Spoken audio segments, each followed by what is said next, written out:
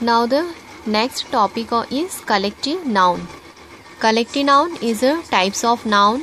In our previous videos, I taught you the uh, two types of nouns means proper nouns and common noun. मैं पिछले videos में आपको proper noun और common noun के बारे में पढ़ा चुकी हूँ और आज हम कलेक्टिव नाउन्स के बारे में पढ़ेंगे okay now what are collective nouns collective का मतलब होता है कलेक्टिव वर्ड का मतलब होता है ग्रुप या collection that is called collective you already know that naming words are called nouns but did you know that there is a type of naming word for entire group और collection of people animals और things of the same kind आप हम हमारे पिछले videos में nouns के बारे में पढ़ चुके हैं, यानी जो भी नेमिंग वर्ड होते हैं, जैसे पर्सन प्लेस एनिमल और थिंग्स के जो नेम होते हैं, वह नेमिंग वर्ड्स यानी नाउन्स कहे जाते हैं। लेकिन ऐसे वर्ड्स जो पूरे कलेक्शन को collection of people collection of animals and collection of things को शो करते हैं। यानी पीपल पर्सन और एनिमल्स के पूरे ग्रुप को शो करते हैं। ऐसे वर्ड्स को कलेक्टिव नाउन्स कहा जाता है। For example army of ants army of ants means ants चीटियों का एक पूरा ग्रुप उसे क्या कहा जाएगा? Army of ants a herd of cows cows का पूरा कलेक्शन या काउज का पूरा group that is called herd of cows a flock of birds birds का पूरा group that is called flock of birds class of students students की पूरी class उसे क्या कहा जाएगा? Class of student pair of glasses glass का pair और अ पैर ऑफ़ सॉक्स यानी दो सॉक्स जब साथ में होते हैं तो उसे कहा जाता है pair of socks this naming words are called collective nouns ये सारे नेमिंग वर्ड्स जो होते हैं, वो क्या कहलाते हैं? कलेक्टिव नाउन्स कहे जाते हैं.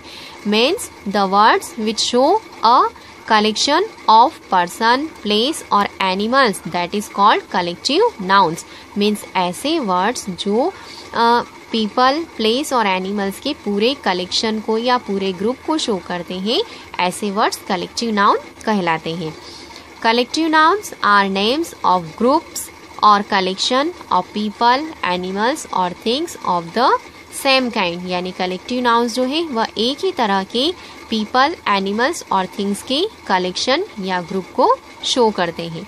For example a band of musician यानी म्यूजिशियंस का जो पूरा ग्रुप होता है, वह क्या कहलाता है? Band of musician a litter of puppies puppies के ग्रुप को क्या कहते हैं? Litter of puppies like that a fleet of ship यानी शिप का जो पूरा ग्रुप होता है that is called fleet of ship now see the more examples We refer to the collective nouns as a single group. Even though it is talking about more than one.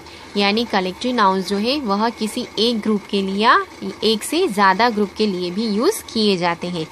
For example we say a range of mountains mountains का पूरा एक group उसे कहा जाता है range of mountains a team of players players यानी खिलाड़ियों की जो पूरी टीम होती है that is called team of player now let see some more examples of collective first we will see the collective nouns of animals a pride of lions a shoal of fish a herd of cows a swarm of bees a clutch of chickens a pack of dogs a litter of kittens, a flock of sheep, a gaggle of geese, a brood of hens. Next is collection of people. A crew of sailors, a troop of dancers, a class of students, a faculty of teachers, a bench of judges, a staff of employees, a gang of thieves, a crowd of people, a troop of soldiers, a choir of singers. Now the collection of things means collective nouns of things. A bunch of grapes, a bouquet of flowers, a batch of cookies, a string of pearls, a bunch of keys, a pack of cards, a pair of shoes, a library of books, a grove of trees, and a collection of stamps. Okay?